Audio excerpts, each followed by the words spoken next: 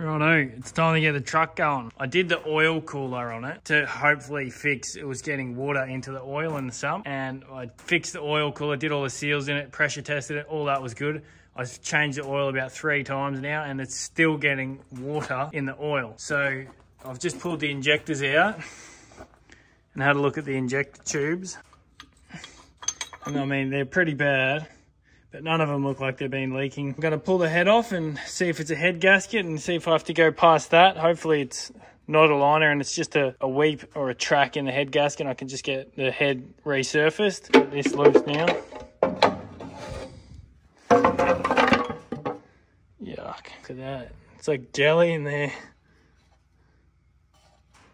It's disgusting. That's all the, must be all like the condensation from the water burning off in the engine. But you can see it's still getting water in it. All the rocker gears off, the manifold. Pulled all the rocker arms off, the rocker assembly. And the, these are the push rods. There's one here. This could be a, an issue. There's a massive groove worn in the shaft of it. So for some reason it's been hitting something. And there's a little bit of marking on this one.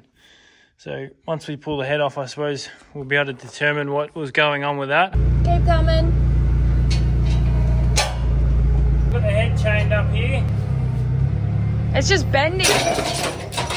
Well, that was probably more violent than I was uh, anticipating. Oh, it's got dowel pins, that's why. It must be jammed on the dowel pin. Actually looks really good. I've got it still hanging from the forklift. But I don't see any like tracking or anything. A little bit of carbon buildup. The valves all look good. There's no obvious cracking or anything. And there's no tracking where water's gotten in.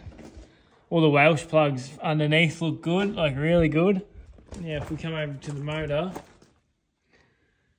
yeah, I can still see cross hatching. So it's actually really good. I suppose it's just a matter of getting them out and seeing if the seals are all good on them. There was no obvious signs of tracking on that that I could see either. I've just put a steel straight, well, an aluminium straight edge along the uh, top of the pot. And it is looking pretty slick. Doesn't look like it's dropped a liner to me. Suppose I might pull the sump off next and then pop the pistons out. I'm under the truck here. I've just got the sump off and you can see here, this is the pickup screen and it's just like muck. That's probably why I had a low oil pressure light. Pulls the cap bolts off and slide the pistons out. Our first piston out, number three. Here's a look at it. Wow, it's big. All right. What do the big ends look like? Not too bad, but yeah, definitely scoring in them, so I'll uh, need to do big ends. There we have it. Oil pump sump, all the pistons.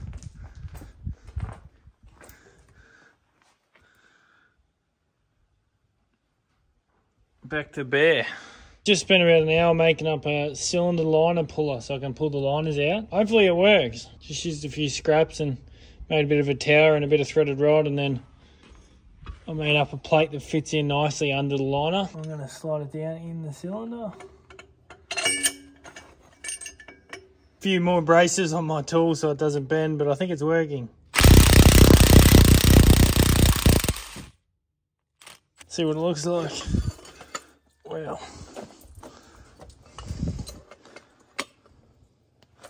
Well, that's the liner pull the rest. Here's another one.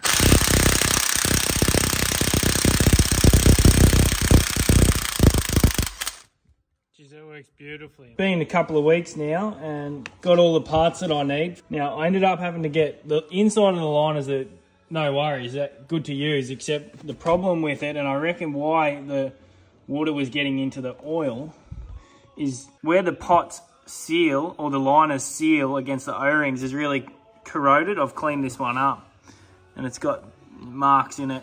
So I'm thinking that's why it was leaking. So we got all new liners, a set of liners. They're relatively cheap. I think they're like 170 bucks each or roughly something like that.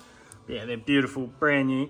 Now the pistons, the old pistons are, I'm gonna use. I've got new rings for them.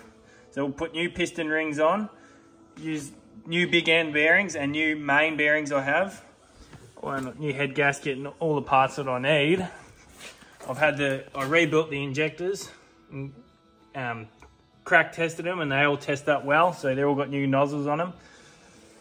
All the seals. And now I'm just working on the head, putting valve stem seals on and then I can get ready to put it all back together.